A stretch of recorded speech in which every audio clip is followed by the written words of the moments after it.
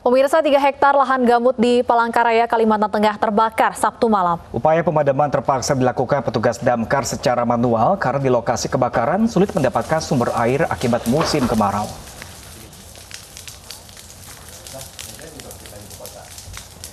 Kobaran api melahap lahan bercampur pepohonan dan semak belukar di Jalan Mahir Bahar, Kecamatan Jekan Raya, Palangkaraya, Kalimantan Tengah. Petugas memadamkan api dengan menggunakan dahan pohon karena terbatasnya sumber air dan jauh dari pemukiman warga.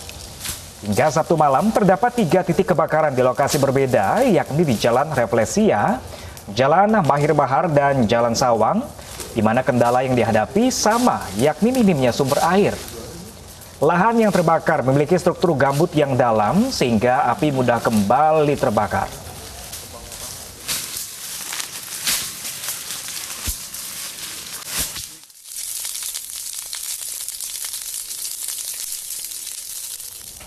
Sementara itu kobaran api dan Sementara itu kobaran api dan asap tebal masih terlihat mengepul di sejumlah lahan gambut di Desa Suwakraya, Kecamatan Johan Pahlawan, Kabupaten Aceh Barat Aceh. Petugas gabungan terus berjibaku memadamkan api di lahan gambut seluas 2 hektar. Namun api sulit padam karena terbatasnya sumber air. Pemadaman terpaksa dilakukan dengan metode injeksi ke dasar gambut.